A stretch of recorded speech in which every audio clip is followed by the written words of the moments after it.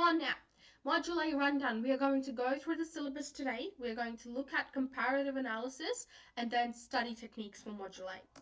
So, Module A syllabus, it's textual conversations. Basically, you're looking at how two texts are conversing with each other, how they're exchanging ideas, and why is that important.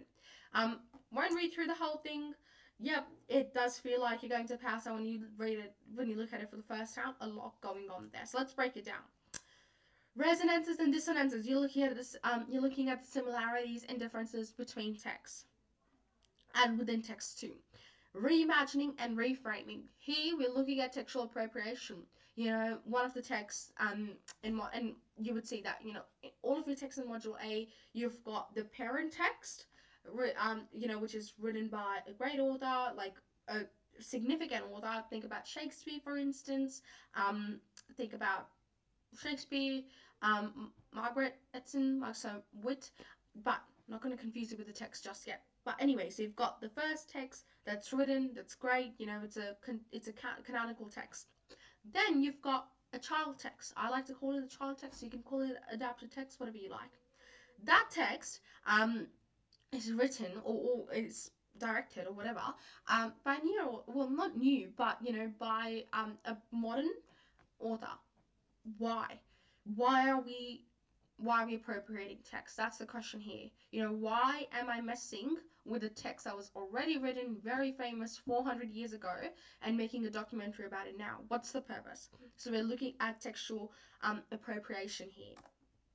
Common or disparate issues. So here we need to look at themes or ideas that appear in one or both texts um, and how they differ, um, how they differ or mirror to the text to the parent text.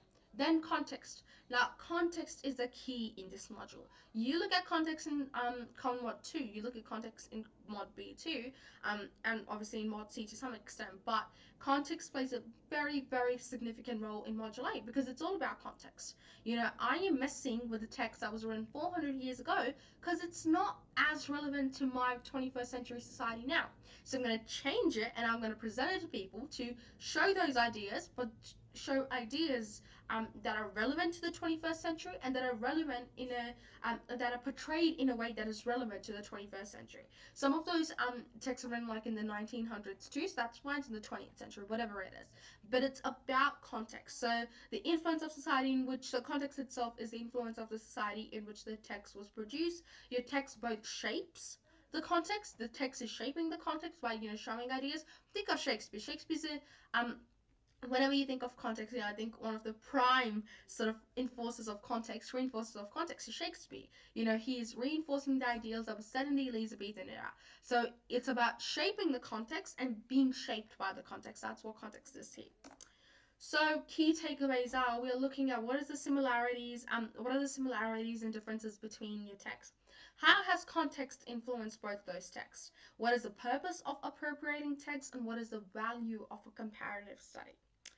Personal voice is very important here because you need to be able to then bring in your own ideas and you know talk about why is this textual appropriation important why is it done um you know based on what your perspective is here. So it's quite important and your personal voice shapes the essay. So what are the similarities and differences between your texts? That's anal- that's analysis. That's where we're analyzing those similarities and differences then we've got how has context influenced both texts? Again, analysis, you know. If I look at Shakespeare, how has this Elizabethan context influenced, you know, the way in which he portrayed um the way in which he has portrayed monarchy in Richard III, which is one of the texts. Um, versus how has context influenced Al Pacino's docudrama? Um, how has this 20th century influenced um, the way in which he has shown Richard III in his docudrama? So that's analysis. Then we've got what is the purpose of appropriating text? That's your thesis. The question will obviously be based on this idea of textual conversations, and you bring in the purpose of this appropriation in your thesis. And then what is the value of a comparative study? Why are we doing this? That is also in your thesis. Um, and you'll also talk about it in your audience impact. Um, where you know you talk about why are we learning this? Why is it important? What are audiences learning from it? With some of the ideas for instance from your parent text again let's go back to shakespeare you know where he talks about power um, and the machiavellian depiction of villains. That's still relevant to a great extent to 21st century um, just because you know those villains may not wear robes anymore but suits or whatever it's the same thing. So you know there are similarities. There are things that still that stay universal, and sometimes that's what the comparative study tells us. But think about it, um, and it's whatever your perception is of you know the, of why this comparative study is important. So